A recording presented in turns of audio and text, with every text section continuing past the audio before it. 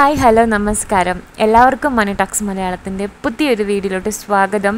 ഇന്ന് നമുക്ക് സംസാരിക്കേണ്ട കാര്യം ഇമ്പോർട്ടന്റ് ആണ്. എന്താണ് ഇൻവെസ്റ്റ്മെന്റ് എങ്ങനെയാണ് എന്തിനു വേണ്ടിയിട്ടാണ് ഞാൻ സേവ് ചെയ്യേണ്ടത് ഇൻവെസ്റ്റ് ചെയ്യേണ്ടത്? അതുപോലെ തന്നെ എന്താണ് റിയൽ അസറ്റ് ക്ലാസ് എങ്ങനെ അസറ്റ് ക്ലാസ് ചൂസ് ചെയ്യാം? അതിനെക്കുറിച്ചൊക്കെ നമുക്കൊന്ന് ഡീറ്റെയിൽഡ് ആയിട്ട് സംസാരിക്കാം എന്ന് വിചാരിക്കുന്നു കേട്ടോ. അപ്പം ആദ്യമായിട്ടാണ് ആരെങ്കിലും കാണുന്നതെങ്കിൽ welcome to family Manutalks Malayalam.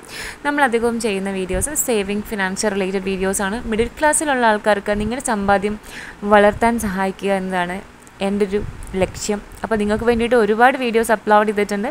മറ്റുള്ള വീഡിയോസൊക്കെ ഒന്ന് കയറി കണ്ടു നോക്കുക അതുപോലെ തന്നെ ഈ വീഡിയോ കണ്ടിട്ട് ഇഷ്ടപ്പെടുകയാണെങ്കിൽ നമ്മുടെ വീഡിയോ ഒന്ന് ചാനൽ ഒന്ന് സബ്സ്ക്രൈബ് ചെയ്തേക്കുക അതുപോലെ തന്നെ വീഡിയോ ഒന്ന് ലൈക്ക് ചെയ്തേക്കുക കേട്ടോ.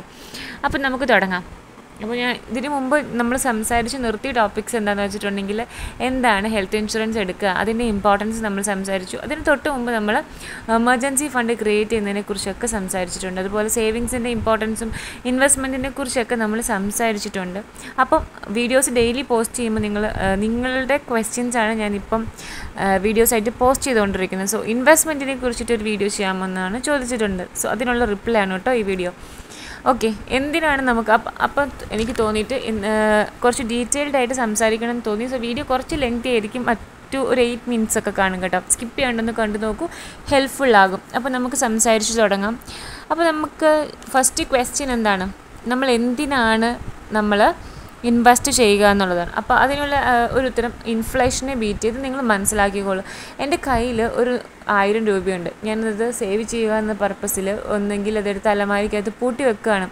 അപ്പം ആ പൈസയ്ക്ക് ഇൻഫ്ലേഷനെ ബീറ്റ് ചെയ്യാൻ സാധിക്കത്തില്ല. അതാണ് അവിടുത്തെ ഒരു ഡ്രോബാക്ക് അപ്പം എന്താണ് ഇൻഫ്ലേഷൻ എന്ന് നിങ്ങൾക്കറിയാമോ? പണപ്പെരുപ്പം. അപ്പോൾ നമുക്ക് ഇന്നുണ്ടാകുന്ന ഇന്ന് നമ്മൾ നൂറ് രൂപ കൊടുത്ത് വാങ്ങിക്കുന്ന സാധനത്തിന് നാളെ നൂറ് രൂപ കിട്ടത്തില്ല. ഇന്ത്യയിൽ ഇൻഫ്ലേഷൻ ഇപ്പോൾ പൊയ്ക്കൊണ്ടിരിക്കുന്ന സെവൻ പോയിന്റ് വൺ പെർസെന്റേജ് ഒക്കെയാണ് ഇൻഫ്ലേഷൻ റേറ്റ് പണപ്പെരുപ്പത്തിന്റെ റേറ്റ് അപ്പം അതുകൊണ്ട് തന്നെ നമ്മൾ ഇന്ന് വാങ്ങിക്കുന്ന സാധനം നമുക്കറിയാം ഈ അരിയുടെ വില തന്നെ ഒന്ന് ചിന്തിച്ച് നോക്കൂ. അമ്പത് രൂപയിൽ നിന്ന് ഒറ്റയടിക്കാണ് സിക്സ്റ്റി ഫോർ റുപ്പീസിലോട്ട് ഒരു കിലോ അരിയുടെ വില വർദ്ധിച്ചത് അല്ലേ? അപ്പം നമ്മുടെ സാധനത്തിന്റെ വിലകളും എല്ലാം വർദ്ധിച്ചുകൊണ്ടിരിക്കുകയാണ്. എക്സെപ്ഷനായിട്ട് നമുക്കിപ്പോൾ പറയാനാണെങ്കിൽ നമ്മുടെ എന്താണ് പാർലേജിന്റെ ബിസ്ക്കറ്റ് സാക്ഷി ഷാംപൂ അങ്ങനെയുള്ള സാധനമൊക്കെ കാലക്രമേണ വില വർദ്ധിച്ചിട്ടില്ലെങ്കിൽ തന്നെ നമ്മുടെ അവശ്യ വസ്തുക്കൾക്കെല്ലാം തന്നെ വില വർധനവ് വന്നിട്ടുണ്ട്. അപ്പം ഇൻഫ്ലേഷനെ ബീറ്റ് ചെയ്യണമെങ്കിൽ നമ്മൾ എന്ത് ചെയ്യണം? നമ്മുടെ പണം നല്ല രീതിയിൽ ഇൻവെസ്റ്റ് ചെയ്തിരിക്കണം നിങ്ങൾ കാണുന്നത് ഇന്ത്യയിലുള്ള ഇൻഫ്ലേഷൻ റേറ്റ് ആണ്. Seven point four four percentage ആണ് ഇപ്പോഴുള്ള ഇൻഫ്ലേഷൻ റേറ്റ് അപ്പോൾ നമുക്ക് ഇൻഫ്ലേഷനെ ബീറ്റ് ചെയ്ത് നിൽക്കണമെങ്കിൽ നമ്മുടെ പണം നമ്മൾ ഇൻവെസ്റ്റ് ചെയ്തിട്ടുണ്ടായിരിക്കണം. അപ്പോൾ ഒന്നാമത്തെ പോയിന്റ് ഇൻഫ്ലേഷനെ ബീറ്റ് ചെയ്യുക എന്നുള്ളതാണ്. ദെൻ രണ്ടാമത്തെ കാര്യം എന്താണെന്ന് വെച്ചിട്ടുണ്ടെങ്കിൽ നമുക്ക് പണം വെൽത്ത് ക്രിയേറ്റ് ചെയ്യുക എന്നുള്ള ഒരു കൺസെപ്റ്റാണ് കേട്ടോ നമുക്ക് ഭാവിയിൽ ഫൈനാൻഷ്യൽ ഫ്രീഡം അച്ചീവ് ചെയ്യണം അല്ലേ? ഒരു പോയിന്റ് എത്തി കഴിയുമ്പോഴത്തേക്ക് നമുക്ക് എന്നും ഇങ്ങനെ ജോബ് ചെയ്യാനോ നമുക്ക് ഏൺ ചെയ്യാനോ ഒന്നും സാധിക്കില്ല. ഒരു പർട്ടിക്കുലർ പോയിന്റ് ഓഫ് ടൈമിൽ നമുക്ക് റിട്ടയർ ആയിട്ടുണ്ടാവണം. ആ റിട്ടയർമെന്റ് ടൈമിലും നമുക്ക് ഏർണിങ്സ് ഒന്നും ഇല്ലെങ്കിൽ നമുക്ക് ഫൈനാൻഷ്യലി ഫ്രീ ആയിട്ട് ഇൻഡിപെൻഡന്റ് ആയിട്ട് നമ്മുടെ കാര്യങ്ങളൊക്കെ മുന്നോട്ട് കൊണ്ടുപോകേണ്ടതായിട്ടുണ്ട്. സോ അങ്ങനെയൊക്കെ വരുമ്പം അതിനോട്ട് വേണ്ടിയിട്ട് നമുക്കൊരു വെൽത്ത് ക്രിയേറ്റ് ചെയ്ത് വെക്കണം. സോ അതിന് വേണ്ടിയിട്ട് നമ്മൾ എന്ത് ചെയ്യണം? നമ്മൾ മസ്റ്റായിട്ടും നമ്മുടെ പണം ഇൻവെസ്റ്റ് ചെയ്തിട്ടുണ്ടായിരിക്കണം. സോ സെക്കൻഡ് പോയിന്റും ക്ലിയർ ആയല്ലേ ഇനി നമുക്ക് മൂന്നാമത്തത് നമ്മുടെ ഫ്യൂച്ചർ ഗോൾസാണ് നമുക്ക് ഒരുപാട് ലക്ഷ്യങ്ങളുണ്ട്. നമ്മുടെ കുട്ടികൾക്ക് നല്ല വിദ്യാഭ്യാസം കൊടുക്കണം. അതുപോലെ മക്കളുണ്ടെങ്കിൽ അവരുടെ വിവാഹം നല്ല ഫ്യൂച്ചറിൽ നല്ലൊരു വീട് അങ്ങനെ പല ആഗ്രഹങ്ങളുണ്ടായിരിക്കും അങ്ങനെ നമ്മുടെ പല ആഗ്രഹങ്ങളും നമുക്ക് അച്ചീവ് ചെയ്യണമെങ്കിൽ എന്താണ്?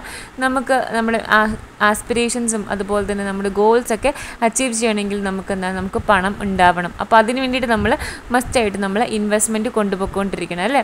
അപ്പോൾ ഈ ഒരു മൂന്ന് കാര്യങ്ങൾ നിങ്ങൾ മനസ്സിൽ വെച്ചിട്ട് നിങ്ങൾ ആ ഒരു ഇൻവെസ്റ്റ്മെന്റിനെ പറ്റിയിട്ട് എന്താണ് കൂടുതൽ കൂടുതൽ മനസ്സിലാക്കുകയും അതിനെ പറ്റിയിട്ട് ഇൻവെസ്റ്റ് ചെയ്യുകയൊക്കെ ചെയ്യണം കേട്ടോ. ഇനി അടുത്ത ക്വസ്റ്റ്യൻ വൈ ഷുഡ് സ്റ്റാർട്ട് എന്തിനു വേണ്ടിയിട്ടാണ് നമ്മൾ ഇൻവെസ്റ്റ് ചെയ്യേണ്ടത്? അല്ലെങ്കിൽ എവിടെയാണ് ഇൻവെസ്റ്റ് ചെയ്യേണ്ടതെന്ന് ഇനി ഞാൻ പറഞ്ഞു തരാം. ഓക്കെ അപ്പോൾ നമ്മൾ അതിന് മുമ്പായിട്ട് എന്താണ് അസറ്റ് ക്ലാസ് എന്ന് മനസ്സിലാക്കണം. അസറ്റ് ക്ലാസ് എന്ന് വെച്ചിട്ടുണ്ടെങ്കിൽ നമ്മൾ എല്ലാ എക്സും ഒരു ബാസ്ക്കറ്റിൽ ഇട്ടുകൂടാന്ന് പറഞ്ഞു. നമുക്ക് എന്തെങ്കിലുമൊക്കെ അവിടെ ഇവിടെയൊക്കെ നഷ്ടങ്ങൾ സംഭവിച്ചാലും അത് ബാലൻസ് ചെയ്തുകൊണ്ട് പോകുന്ന രീതിയിൽ വേണം നമ്മൾ നമ്മുടെ അസറ്റ് ക്ലാസ്സിനെ ഇൻവെസ്റ്റ്മെന്റ് ഇൻവെസ്റ്റ് ചെയ്യേണ്ടത്. അസറ്റ് ക്ലാസ് എന്ന് വെച്ചിട്ടുണ്ടെങ്കിൽ നമുക്ക് മെയിൻലി നമുക്ക് മൂന്ന് കാറ്റഗറി ആയിട്ട് നമുക്ക് തിരിക്കാം. ഒന്ന് നമുക്ക് ഫിക്സഡ് റിട്ടേൺ തരുന്ന ഇൻവെസ്റ്റ്മെന്റ് അതുപോലെ തന്നെ നമുക്ക് ഇക്വിറ്റി ഇൻവെസ്റ്റ്മെന്റ് ആൻഡ് അത് then last minute to talk about gold അതുപോലെയുള്ള കാര്യങ്ങളൊക്കെ. അപ്പോൾ നമുക്ക് ഫിക്സഡ് ഇൻവെസ്റ്റ്മെന്റ് എന്താണെന്ന് ആദ്യം സംസാരിക്കാം കേട്ടോ. ഫിക്സഡ് റിട്ടേൺ ഇൻവെസ്റ്റ്മെന്റ് ഈ ഫിക്സഡ് റിട്ടേൺ ഇൻവെസ്റ്റ്മെന്റ് എന്ന് പറഞ്ഞിട്ടുണ്ടെങ്കിൽ ഈ അസറ്റ് ക്ലാസ്സിൽ ഇൻവെസ്റ്റ് ചെയ്യുകയാണെങ്കിൽ റിസ്ക് എന്ന് പറയുന്നത് ലോ ആയിരിക്കും. അതുകൊണ്ട് തന്നെ റിട്ടേണും ലോ ആയിരിക്കും. ബേസിക്കലി എങ്ങനെയാണല്ലോ റിസ്ക് കൂടുമ്പോൾ നമുക്ക് റിട്ടേൺ കൂടും. റിസ്ക് കുറയുമ്പോൾ നമുക്ക് റിട്ടേൺ കുറയും. So fixed investment fixed return investment ഈ ഒരു അസറ്റ് ക്ലാസ്സിലെ റിട്ടേൺ വളരെ കുറവായിരിക്കും. കുറവ് in the sense when it's compared with equity മാർക്കറ്റിനെയൊക്കെ വെച്ച് നോക്കുമ്പം ഇതിന്റെ റിട്ടേൺ എന്ന് പറയുന്നത് seven to seven to ten percentage നമുക്ക് കാൽക്കുലേറ്റ് ചെയ്യും. അത്രയൊക്കെ റിട്ടേൺ ആണ് നമുക്ക് കിട്ടുകയുള്ളൂ ആക്ച്വലി ഇതിനകത്ത് വരുന്നതാണ് നമ്മുടെ ഫിക്സഡ് ഡിപ്പോസിറ്റ്സ് ഒക്കെ വരുന്നത് ഫിക്സ്ഡ് ഡിപ്പോസിറ്റ് അതുപോലെ തന്നെ നമ്മുടെ ഗവൺമെന്റ് ബോണ്ട് അപ്പോൾ നമ്മൾ ഫിക്സ്ഡ് പീരീഡിലോട്ട് നമ്മൾ ഇൻവെസ്റ്റ് ചെയ്യുന്നു. അത് നമുക്കൊരു ഫിക്സഡ് ഇൻ റിട്ടേൺ ആണ് നമുക്ക് നമ്മുടെ ഇൻവെസ്റ്റ്മെന്റിന് കിട്ടുന്നതെങ്കിൽ നമുക്കത് ഒന്നാമത്തെ അസറ്റ് ക്ലാസ് ആയിട്ട് കാൽക്കുലേറ്റ് ചെയ്യാം. അതായത് ഫിക്സഡ് റിട്ടേൺ ഇൻവെസ്റ്റ്മെന്റ് എന്നാണ് പറയുന്നത്. Then we talk about equity investment ഇതാണ് നമ്മുടെ സെക്കൻഡ് അസറ്റ് ക്ലാസ് ഞാൻ പറയാൻ വന്നത്. Equity investment the name itself equity നമുക്ക് ഷെയർ ഇന്ത്യ ഷെയർസിലൊക്കെ ഇൻവെസ്റ്റ്മെന്റ് ചെയ്യാം. ഷെയർ മാർക്കറ്റ് മ്യൂച്വൽ ഫണ്ട് അതൊക്കെ നമ്മുടെ ഇക്വിറ്റി ഇൻവെസ്റ്റ്മെന്റിനകത്ത് വരികയാണ്. അപ്പം ഇതിനകത്തൊക്കെ ഒരുപാട് സാധ്യതകളും ഓപ്പർച്യൂണിറ്റീസും ഉണ്ട്. ലൈക്ക് ഇതിനകത്ത് തന്നെ റിസ്ക് എന്ന് പറയുന്നത് കൂടുതലായിരിക്കും. അതുകൊണ്ട് തന്നെ റിട്ടേൺ എന്ന് പറയുന്നതും വളരെ വളരെ കൂടുതലാണ് കേട്ടോ. അപ്പോൾ വൺ സെക്കൻഡ് അപ്പം ഇവിടെ നിങ്ങളെ ഞാൻ കാണിക്കുന്നത് ഒരു മ്യൂച്വൽ ഫണ്ടിനകത്ത് നിങ്ങൾ ട്വന്റി ഇയേഴ്സിൽ അത് ഇൻവെസ്റ്റ്മെന്റ് ചെയ്യുകയാണോ. അതുപോലെ തന്നെ നിങ്ങൾ റിക്കറിങ് ഡിപ്പോസിറ്റിനകത്ത് ആക്ച്വലി ഫിഫ്റ്റീൻ ഇയേഴ്സ് എനിക്ക് കാണിക്കാൻ പറ്റുന്നത്. ഫിഫ്റ്റീൻ ഇയേഴ്സിനകത്ത് ഇൻവെസ്റ്റ്മെന്റ് ചെയ്യുമ്പോൾ തമ്മിലുള്ള ഒരു ഡിഫറൻസ് ആണ് കാണിക്കുന്നത്. മ്യൂച്വൽ ഫണ്ട് എന്ന് പറയുമ്പോൾ കുറച്ച് റിസ്ക്കി ആയിട്ടുള്ള ഇൻവെസ്റ്റ്മെന്റ് ആണ്. ഞാൻ പറഞ്ഞതുപോലെ ടു തൗസൻഡ് റുപ്പീസ് ഒരു ട്വന്റി ഇയേഴ്സിനകത്ത് നിങ്ങൾ ഇൻവെസ്റ്റ്മെന്റ് ചെയ്യുന്നു. ദെൻ യു ഗെറ്റ് ഓൾമോസ്റ്റ് ഒരു ഒരു കോടി മുകളിൽ എത്രയോ രൂപയാണ് നിങ്ങൾക്ക് കിട്ടാൻ പോകുന്നത്. ദ സെയിം ടൈം നിങ്ങളൊന്ന് നോക്കൂ ഒരു റിക്കറിങ് ഡെപ്പോസിറ്റ് അത് ഫിക്സഡ് റേറ്റ് ഓഫ് റിട്ടേണും ഒരു ആണ് നമുക്ക് കിട്ടുന്നത്. ഒരു സെവൻ പെർസെന്റേജ് അല്ലെങ്കിൽ ആ ഒരു റേറ്റ് ഓഫ് മാത്രമാണ് നമുക്ക് റിക്കറിങ് ഡിപ്പോസിറ്റ്സിനകത്ത് നമുക്കൊരു ഇൻട്രസ്റ്റ് ആയിട്ട് കിട്ടുള്ളൂ അല്ലെങ്കിൽ നമുക്ക് റിട്ടേൺ ആയിട്ട് വരത്തുള്ളൂ. അപ്പം അങ്ങനെ നമ്മൾ കാൽക്കുലേറ്റ് ചെയ്ത് നോക്കുകയാണെങ്കിൽ ടു തൗസൻഡ് റുപ്പീസ് വെച്ചിട്ട് നമുക്കൊരു സെവൻ പെർസെന്റേജ് റിട്ടേൺ നോക്കാം. അത് വെച്ചിട്ട് ഒരു ഫിഫ്റ്റീൻ ഇയേഴ്സ് ആണ് ഇതിനകത്ത് കാൽക്കുലേറ്റ് ചെയ്യാൻ പറ്റുന്നുള്ളൂ. പക്ഷേ നിങ്ങൾ അതിന്റെ എമൗണ്ട് നിങ്ങൾ ഡിഫറൻസ് ഒന്ന് കണ്ടു നോക്കൂ. നമുക്ക് ഏകദേശം റിട്ടേൺ കിട്ടുന്ന ആ ഒരു എമൗണ്ട് എന്ന് പറയുന്നത് വളരെ കുറവാണ് അല്ലേ?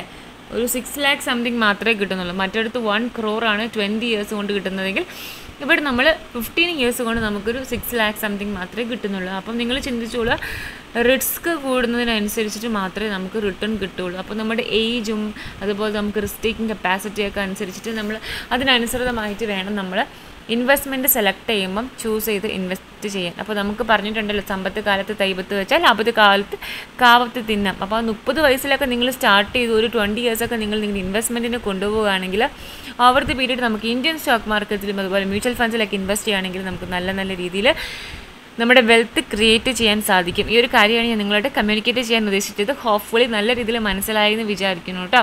അപ്പോൾ നമ്മുടെ സെക്കൻഡ് ആയിട്ട് നമുക്ക് ചിന്തിക്കാവുന്ന ഒരു ഇൻവെസ്റ്റ്മെന്റ് ഓപ്ഷൻ എന്ന് പറയുന്നത് ഇക്വിറ്റി മാർക്കറ്റാണ് then move on to the third investment real estate ആണ് കേട്ടോ.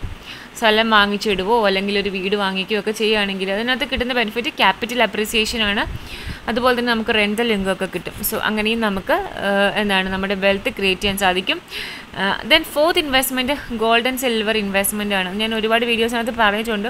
ഓവർ ദ ടെൻ ഇയേഴ്സ് ഒക്കെ നോക്കുകയാണെങ്കിൽ ഗോൾഡിലും സിൽവറിലൊക്കെ നല്ല രീതിയിൽ എന്താണ് വർധനവ് വന്നിട്ടുണ്ട്. അപ്പോൾ നിങ്ങൾക്ക് ഡിജിറ്റൽ ഗോൾഡൊക്കെ ആയിട്ട് വാങ്ങിച്ച് വെക്കുകയാണെങ്കിലും അതും നല്ലൊരു ഇൻവെസ്റ്റ്മെന്റ് ആണ് കേട്ടോ. അപ്പോൾ നമ്മൾ ഫോർ അസറ്റ് ക്ലാസ്സിനെ കുറിച്ചിട്ട് പറഞ്ഞു. അപ്പോൾ നിങ്ങൾക്ക് ഏതിലൊക്കെ വേണമെങ്കിലും നിങ്ങളുടെ അസറ്റിന് ഇൻവെസ്റ്റ്മെന്റ് ചെയ്യാൻ സാധിക്കും. അപ്പം ഇത് ഓരോ ആൾക്കാരുടെ ചോയ്സാണ് അപ്പോൾ ഇതിനകത്ത് നമുക്ക് കൺസിഡർ ചെയ്യാവുന്ന നമ്മുടെ ഏജ് നമ്മുടെ ഫാമിലി അതുപോലെ തന്നെ റിസ്ക് ടേക്കിംഗ് കപ്പാസിറ്റി നമ്മൾ കുറഞ്ഞ ഏജിലകത്തൊക്കെ നമുക്ക് ഹൈ റിസ്ക് എടുക്കാൻ സാധിക്കും. അപ്പോൾ നിങ്ങൾക്ക് ഇക്വിറ്റി ഇക്വിറ്റി മാർക്കറ്റിലൊക്കെ കൂടുതൽ റിസ്ക് എടുത്തുകൊണ്ട് ഇൻവെസ്റ്റ്മെന്റ് ഒക്കെ ചെയ്യാൻ സാധിക്കും. പിന്നെ നമുക്ക് ഏജ് കൂടുതലാണെങ്കിൽ നമുക്ക് ഫിക്സ്ഡ് ഡിപ്പോസിറ്റ് അങ്ങനെയൊക്കെ നമ്മുടെ റിസ്കിനെയൊക്കെ ബേസ് ചെയ്ത് നമുക്ക് നമ്മൾ ഇൻവെസ്റ്റ്മെന്റിനെ കൊണ്ടുപോകാം. ഈ വീഡിയോ ഇഷ്ടപ്പെട്ടെങ്കിൽ തീർച്ചയായിട്ടും ഒന്ന് ലൈക്ക് ചെയ്തേക്ക്. നമുക്ക് നാളെ കൂടുതൽ കൂടുതൽ ഇൻവെസ്റ്റ്മെന്റ് റിലേറ്റഡ് വീഡിയോസിനകത്ത് വരാം. Thanks for watching this